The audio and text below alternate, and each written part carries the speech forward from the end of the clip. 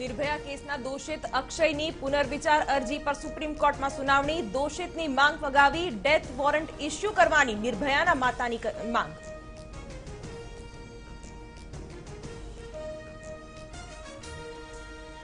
રાજ્યમાં હેલ્મેટનો કાયદો મરજિયાત કરતા સુપ્રીમ કોર્ટે કરી લાલાખ રોડ સેફટી કમિટીએ માંગ્યો જવાબ. કયા નિયમોને આધારે હળવો કર્યો કાયદો? પૂછ્યો સવાલ.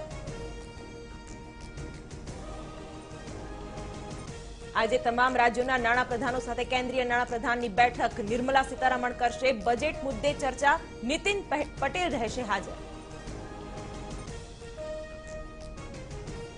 આજે બપોરે મળશે રાજ્યની કેબિનેટની બેઠક. મગફળી ખરીદીમાં ગેરરીતિ, પાક વીમો અને તીડના ત્રાસ સહિતના મુદ્દે થશે ચર્ચા.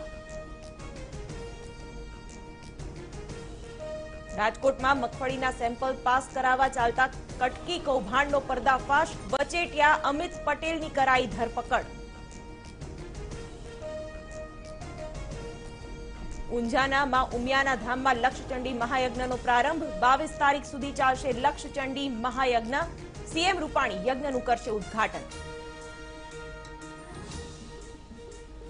મહાયજ્ઞ પહેલા ઉમિયા ધામમાં નોંધ્યા વિવિધ આઠ રેકોર્ડ, બિયારણ ભરેલા પંદર હજાર ફુગ્ગા હવામાં છોડાયા તો હજારો શ્રદ્ધાળુના જયઘોષ સાથે સત્તર લાખથી વધુ લાડુ બનાવવાનો વિક્રમ.